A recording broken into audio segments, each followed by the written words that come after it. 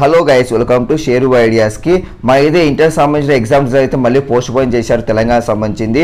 ఎందుకు ఏంటి ఒకవేళ రిజల్ట్స్ ఎప్పుడు రిలీజ్ చేశారు దానిపై మనకైతే ప్రభుత్వం అయితే క్లారిటీ తెచ్చింది. ఈ వీడియో క్లారిటీ చెప్తా వేరే కూర్చోండి.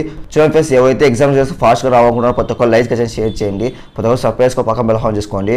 డైరెక్ట్ టాపిక్ అయితే వెళ్ళిపోతా. యాక్చువల్ తెలంగాణ రిజల్ట్ అయితే ఈ రోజు వస్తాయి రేపు వస్తాయి అంటున్నారు కానీ రిజల్ట్ అయితే రావట్లేదు.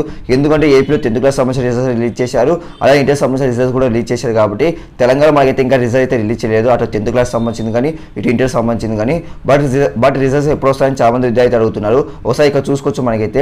ఈ నెల ఇరవై ఆరున ఫలితాలు విడుదల. టీఎస్ ఇంటర్మీడియట్ ఫలితాలు ఈ నెల ఇరవై ఆరున వెల్లడించేందుకు అవకాశం ఉన్నట్టు అధికారులు తెలుపుతున్నారు. తొలుత ఈ నెల ఇరవై ఐదు ఫలితాలు ప్రకటించాలని భావించినప్పటికీ మార్కులను కంప్యూటర్ ద్వారా ఫీడ్ చేసే క్రమంలో తప్పులు దొరికినట్టు విచారించారు. ఫలితాల ప్రకటనపై ట్రయల్ రన్ చేస్తున్నట్టు పేర్కొన్నారు. అన్ని నిర్ధారించగా ఈ నెల ఇరవై ఆరున ఫలితాలు వెల్లడించే కృషి చేస్తున్నారు. చూడొచ్చు ఫ్రెండ్స్ మనకైతే ఈ నెల ఇరవై ఐదున రిజల్ట్ అయితే రిలీజ్ చేస్తారని చెప్పారు. ఫస్ట్ అయితే బట్ దానికి సంబంధించి మనకైతే మార్క్స్ అయితే ఎంటర్ చేశారు కాబట్టి కంప్యూటర్లో కొన్ని తప్పు అయితే చిక్కాయి కాబట్టి మళ్ళీ వాళ్ళు అయితే సరి చేస్తున్నారు. ఎందుకంటే మళ్ళీ ప్రాబ్లం అయితే అవుతుంది కాబట్టి రిజల్ట్ రిలీజ్ చేసినప్పుడు మళ్ళీ వీటిని మళ్ళీ పరిశీలిస్తున్నారు కాబట్టి మార్క్స్ కొంచెం డిలే అయితే అవకాశం అయితే ఉంది. మనకైతే ఇరవై ఆరో తేదీ రిజల్ట్ అయితే రిలీజ్ చేస్తారంట.